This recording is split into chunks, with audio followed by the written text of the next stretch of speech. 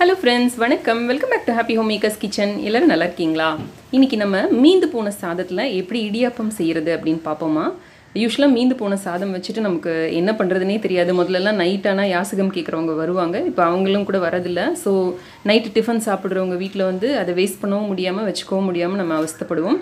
So இன்றைக்கி வந்து சாதத்தில் பண்ணக்கூடிய ஒரு இடியாப்பம் ரெசிபி ஈஸி ரெசிபி நம்ம பார்க்க போகிறோம் இதை ஒரு தடவை ட்ரை செய்து பார்த்தீங்க அப்படின்னா நீங்கள் எக்ஸ்ட்ரா சாதம் வச்சு இதை ட்ரை பண்ணுவீங்க. அந்த அளவுக்கு இது ரொம்ப நல்லாயிருக்கும் காலையில் பிஸியாக இருக்கிற தாய்மார்களுக்கு இது வந்து ரொம்ப யூஸ்ஃபுல்லாக இருக்கும். காலையில் நம்ம மத்தியானத்துக்கு நம்ம வைக்கிற சாதத்தில் கொஞ்சம் எடுத்து காலையில் நம்ம இடியாப்பம் செய்திடலாம். இல்லை மத்தியானம் சாதம் மீந்து போச்சுன்னா அதை நைட்டுக்கு இடியாப்பமாக கன்வெர்ட் பண்ணிடலாம். நீங்கள் ஃப்ரிட்ஜில் வைக்கிற சாதத்தில் கூட நீங்கள் அடுத்த நாள் இதை ட்ரை செய்து பார்க்கலாம். இதுக்கு தேவையான பொருட்கள் ஒரு கப் அளவுக்கு சாதம். நீங்கள் எந்த கப்பில் வேணாலும் சாதம் அளந்துக்கலாம் அந்த கப்பில் ஈக்குவல் அமௌண்ட் அரிசி மாவு எடுத்துக்கோங்க. இது வெறும் மாவு பச்சரிசி மாவு தான். ஒரு கப்பு ப்ளஸ் அரை கப்பு நீங்கள் எந்த கப் வேணாலும் அளந்துக்கலாம். இந்த ஒரு கப் சாதத்தை நல்லா நம்ம அரைச்சி எடுத்துகிட்டு வந்துடலாம். நல்ல மையாக அரைச்சி எடுத்துகிட்டு வரணும். நான் வந்து புழுங்கரிசி சாதம் எடுத்திருக்கேன். வடித்த சாதம் இது உப்பு போடாத சாதம் இது. நீங்கள் ஒருவேளை குக்கரில் வச்ச சாதம் எடுத்தீங்கன்னா இது வந்து அவ்வளோ சரியாக வராது. ஏன்னா அதில் கஞ்சி கோத்துட்ருக்கிறதுனால அது சரியாக வராது. ஸோ வடித்த சாதம் எடுத்துக்கிறது பெஸ்ட்டு நீங்கள் ஒருவேளை உப்பு போட்டு வடிக்கிற மாதிரி இருந்தீங்கன்னா இதில் போடுற உப்போட அளவை அட்ஜஸ்ட் பண்ணிக்கோங்க. இது இப்போ நம்ம மையாக அரைச்சி எடுத்துகிட்டு வந்துடலாம். சாதத்தை இந்த மாதிரி நல்லா தள்ளி விட்டு கையால் தள்ளி விட்டு தள்ளி விட்டு நல்லா மையாக அரைச்சிக்கோங்க. அப்போ தான் இதில் இருக்கிற அந்த பார்ட்டிகல்ஸ் எல்லாம் நல்லா அரைப்படும் நமக்கு. இதில் இந்த ஒரு கப் அரிசி மாவை ஆட் பண்ணிக்கலாம். நீங்கள் வந்து அரிசியையும் அரிசி மாவையும் சாதத்தையும் ஒன்றா போட்டு அரைக்காதீங்க. அப்போ வந்து சரியானபடி அரைப்படாது. ஸோ இதுக்கு தேவையான அளவு உப்பும் சேர்த்துக்கோங்க.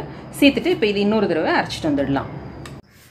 இந்த மாதிரி நல்ல பந்து மாதிரி திரண்டு வந்துடும் நம்ம அரைக்கிறப்ப. இதை எடுத்து ஒரு மிக்சிங் பவுலில் போட்டுட்டு இப்போ நம்ம எடுத்து வச்சுருக்கிற அந்த அரைக்க பரிசி மாவை கொஞ்சம் கொஞ்சமாக சேர்த்து இது நம்ம சப்பாத்தி மாவு பதத்துக்கு பிசைஞ்சிக்கலாம்.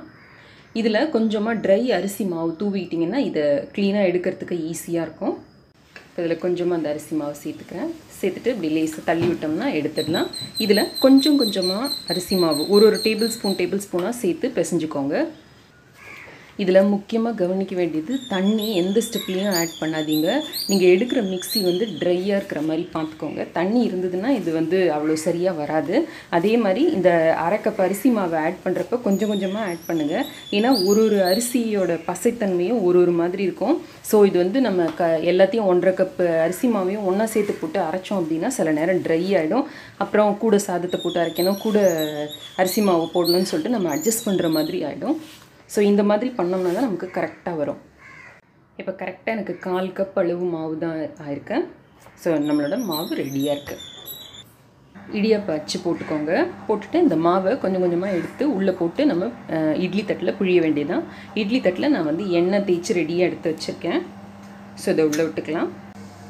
இப்போ நம்ம நார்மலாக எப்படி இடியாப்பம் புழிவோமோ அதே மாதிரி இடியாப்பம் புழிய வேண்டியது தான்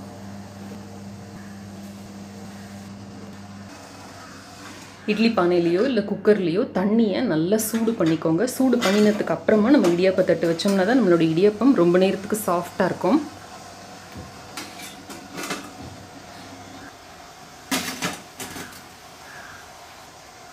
இப்போ ஏழுலேருந்து எட்டு நிமிஷம் வேக வச்சு எடுத்தால் நம்மளோட சுவையான இடியாப்பம் தயார்.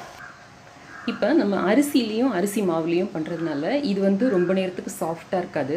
ஒன்று ஒரு ஈர துணி போட்டு மூடி வச்சிடுங்க. இல்லாட்டி இந்த மாதிரி கொஞ்சம் இப்போ ஹார்ட் ஆகிடுச்சு பாருங்கள் இந்த மாதிரி ஆயிடுச்சு அப்படின்னா ஒரு ஸ்பூனில் நான் வந்து ஒரு கால் டீஸ்பூன் அளவுக்கு தண்ணி தான் விடுறேன். இந்த அளவுக்கு தண்ணி விட்டு இதை இன்னொரு தடவை பிசைஞ்சிங்க அப்படின்னா நல்லா சாஃப்டாக நமக்கு வந்து புழியறதுக்கு ஈஸியாக வந்துடும் ஸோ எப்பயாவது நீங்கள் ஹார்டாக ஃபீல் பண்ணீங்கன்னா கூட இந்த இந்த கால் ஸ்பூன் அளவுக்கு தண்ணி விட்டிங்கன்னா போகிறோம்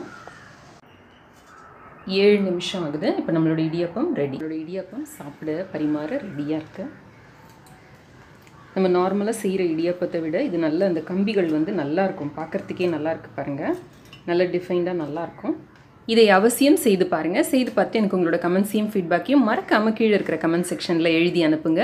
இணைந்திருங்கள். ஹாப்பி ஹோம் மேக்கருடன் என்னாலும் நன்றி வணக்கம். ஆரோக்கியமான சமையல் ஆனந்தமான வாழ்க்கை.